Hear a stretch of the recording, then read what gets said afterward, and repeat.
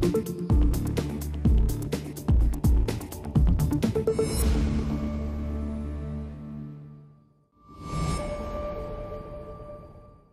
Le plan social des ex-salariés GMS dans l'actualité de ce lundi.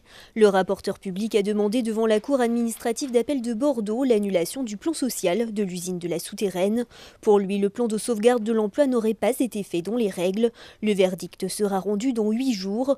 Pour rappel, ce sont 157 salariés sur les 277 qui ont été licenciés.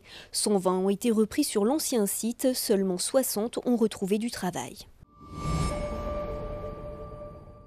Les bergers des Pyrénées en colère, ils ont défilé dimanche à la Reims à l'occasion de la fête du fromage pour protester contre les réintroductions des ours réalisées la semaine dernière en vallée d'Aspe et en vallée d'Ossau. Les bergers s'inquiètent pour leur avenir. Les deux ours lâchés seraient pleines et pour eux cela veut dire que dès le printemps prochain il pourrait potentiellement y avoir 4 à 6 ours dans les Pyrénées, des ours synonymes de possibles attaques sur leurs troupeaux. La Dacoise Carla Bonesso est devenue Miss Aquitaine 2018 le week-end dernier. C'est donc elle qui représentera les cinq départements de l'ex-Aquitaine lors de l'élection de Miss France 2019. La jeune charentaise Marion Sokolic, quant à elle, a été élue dimanche soir Miss Poitou-Charentes.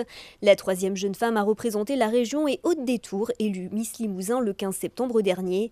Les trois jeunes femmes participeront à l'élection de Miss France au Zénith de Lille le 15 décembre prochain.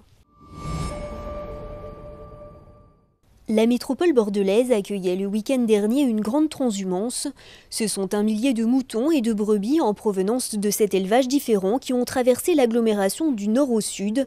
Le troupeau a parcouru un peu plus de 30 km en deux jours, déplaçant la foule malgré le mauvais temps.